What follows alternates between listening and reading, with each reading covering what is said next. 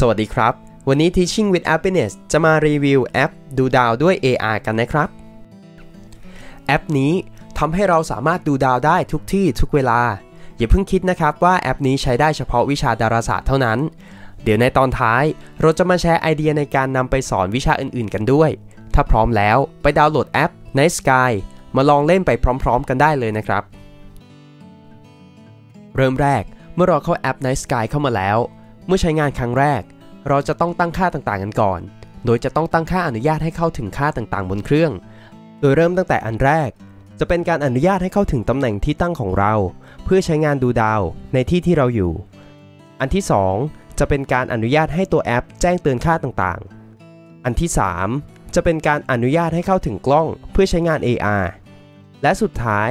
จะเป็นการอนุญาตให้เข้าถึงปฏิทินของเรา เพื่อลิงก์กิจกรรมดูดาวต่างๆ ภายในแอป ในแต่ละเดือนนะครับ เราอาจจะตั้งค่าอนุญาตทั้งหมดก็ได้ หรืออนุญาตเพียงส่วนที่เราพอใจ เมื่อเสร็จแล้วในหน้าถัดมาจะเป็นการตั้งค่าใช้งานของแอปของเรา เราก็ตั้งค่าให้เป็นไปตามที่แอปแนะนำได้เลย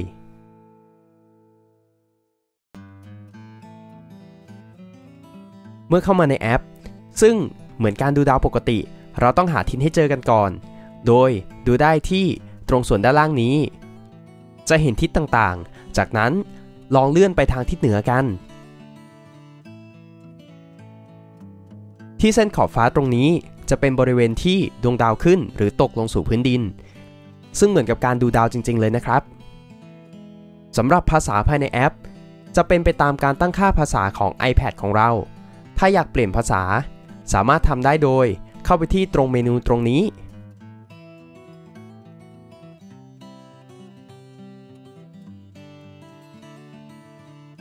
เลือกคำว่า settings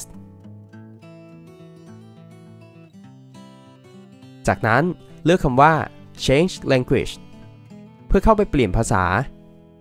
เมื่อเข้ามาใช้งานแอปของเราแล้ว ภาษารวมถึงชื่อหมู่ดาว ก็จะเป็นไปตามภาษาที่เราตั้งไว้เลย ตอนนี้เราพร้อมแล้ว และต่อจากนี้เราจะมาลองเล่นแอป Night Sky เพื่อดูดาวกัน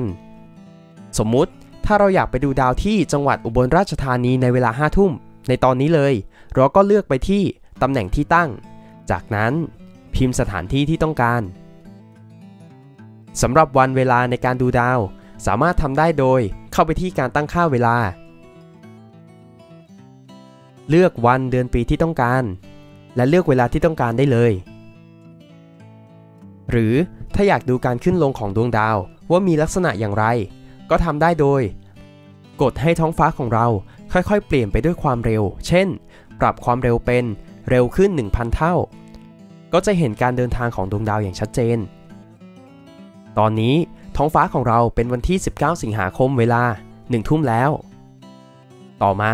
ถ้าเราอยากดูดาวด้วยเทคโนโลยี AR ก็ทำได้ง่าย ๆ โดยกดที่ปุ่ม AR ตรงนี้